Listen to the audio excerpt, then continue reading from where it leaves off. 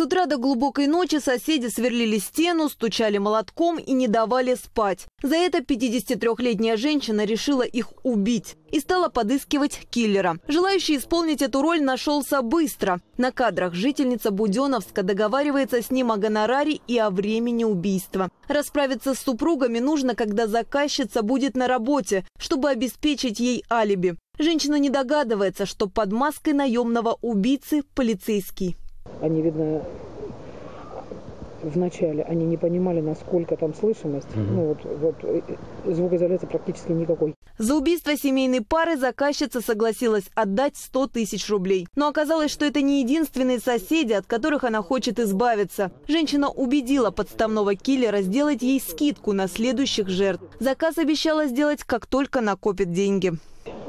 Там, я же говорю, там по-хорошему надо не меньше вот этих семерых сразу. Сейчас, это, это очень мало. Сейчас пока мы с этими разбираемся, с вашими соседями, с теми, чем. Потом уже будем дальше надумать. А, а это, я понимаете, я, чтобы вы поняли просто, я, я понимаю. Я уже понял, я уже понял. Это как э, взаимо, вот как в кошмарах показывают взаимозамещаемые части одного паука. Ага. Понимаете? Вот эти семеро, это них... падаль. В конце разговора женщина расплакалась, но оказалось не из-за грядущей расправы над людьми. Ей просто стало очень жаль себя. Я понимаю, что это просто война, Чтобы, это фашисты. Да, это и, фашисты, и, и я осознала это. У меня абсолютно никаких ни сожалений, ни угрызений. Это фашисты.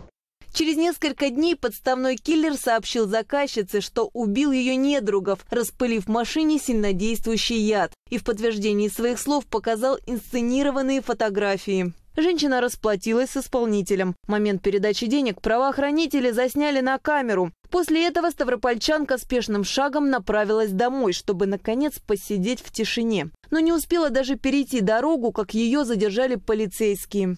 Злоумышленницу задержали и доставили в районный отдел внутренних дел, где она дала признательные показания. В отношении жительницы Буденовска Следственный комитет возбудил уголовное дело.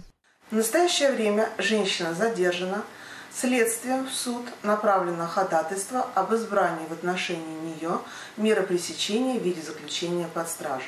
За попытку организовать заказное убийство жительнице Буденовска грозит наказание вплоть до пожизненного лишения свободы. Алиса Вартазарян, Ставропольское телевидение.